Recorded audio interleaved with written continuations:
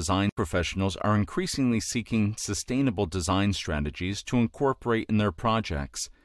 Sustainable architecture looks at human civilization as an integral part of the natural world and seeks to preserve nature through encouraging conservation in daily life.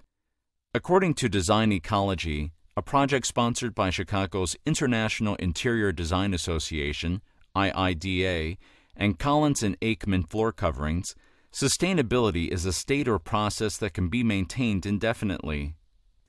The principles of sustainability integrate three closely intertwined elements the environment, the economy, and the social system into a system that can be maintained in a healthy state indefinitely.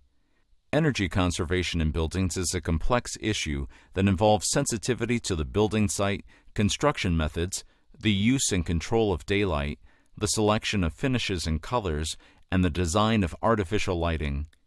The choice of heating, ventilating, and air conditioning, HVAC, and other equipment can have a major effect on energy use. The materials and methods used for building construction and finishing also have an impact on the larger world. The design of a building determines how much energy it will use throughout its life. The materials used in the building's interior are tied to the waste and pollution generated by their manufacture and eventual disposal. Increasing energy efficiency and using clean energy sources can limit greenhouse gases. Environmentally conscious interior design is a practice that attempts to create indoor spaces that are environmentally sustainable and healthy for their occupants.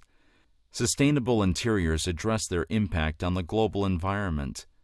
Note that to achieve sustainable design, interior designers must collaborate with architects, developers, engineers, environmental consultants, facilities and building managers, and contractors.